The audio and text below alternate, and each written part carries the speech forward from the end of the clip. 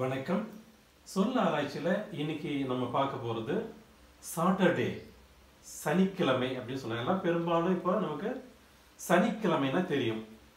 காரிக்கிழமைன்னா சில பேருக்கு தமிழ் படித்தவங்களுக்கு தெரியும். ஆனால் காரிக்கிழமைன்றது நேராக பொருளுள்ள ஒரு சொல் இது.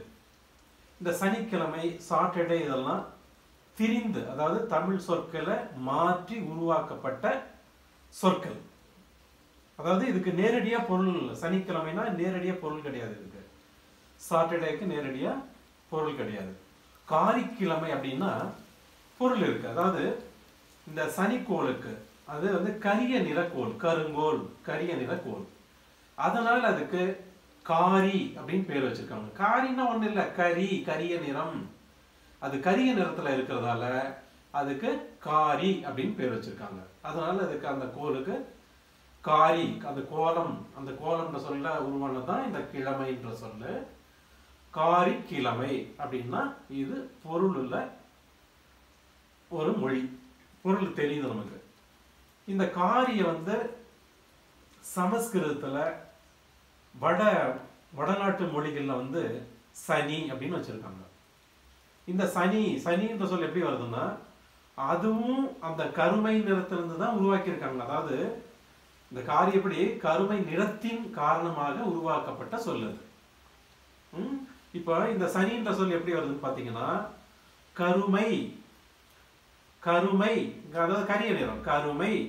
இந்த கருமை என்ற சொல்லிலிருந்து உருவாக்கப்பட்டதான் சனி அதாவது கா ரு மை கருமை அப்படின்னு இருக்கு. இதுல ககர சகர திருப்பின் அடிப்படையில் இந்த சியை வந்து எஸ்ஸா மாத்திருக்காங்க.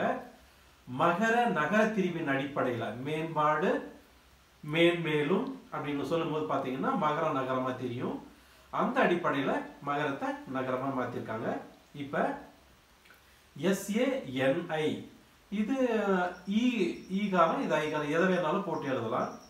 எஸ்ஏஎன்ஐ சனி. கருமை இந்த தமிழ் சொல்ல உருவான சொல்லுதான் சனி.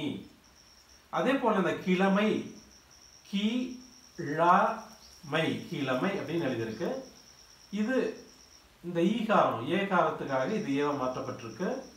மகர மகர திரிவின் அடிப்படையில் எம் வந்து டபிள்யூ மாறி இருக்கு இப்போ இந்த பக்கம் எடுத்துக்கின்னு W A S A R A வாஷரா அப்படின்னா சமஸ்கிருதத்தில் வந்து கிழமை அப்படின்னு பொருள். இந்த சனி வாஷரா அதை- அதை சுருக்கி சனிவாரா அப்புறம் சனிவார். அப்புறம் வகர பகரமாக தெரிஞ்சு சனிபார் அப்படியெல்லாம் சொல்லுவாங்க. வட இந்திய மொழிகள்ல இப்படியெல்லாம் மாறி இருக்கும்.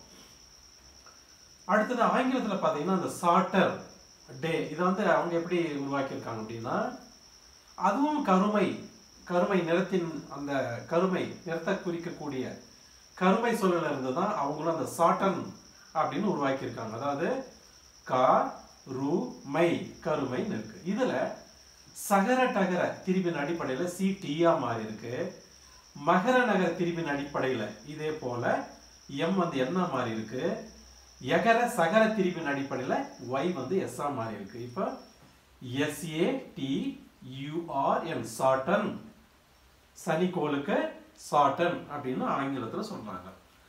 அதே போல அந்த கிழமை வந்து கி லா மை கிழமை.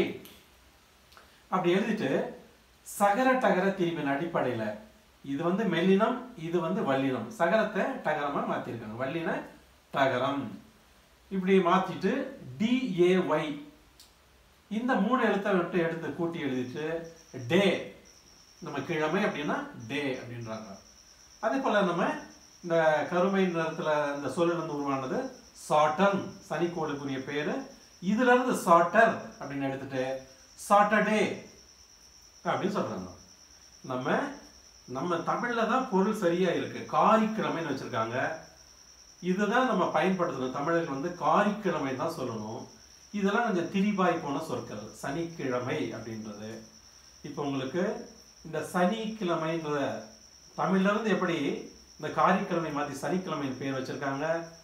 ஆங்கிலத்தில் எப்படி சாட்டர்டே அப்படின்னு பேர் வச்சுருக்காங்க அப்படின்னு உங்களுக்கு தெளிவாக விளங்கியிருக்கும். நன்றி.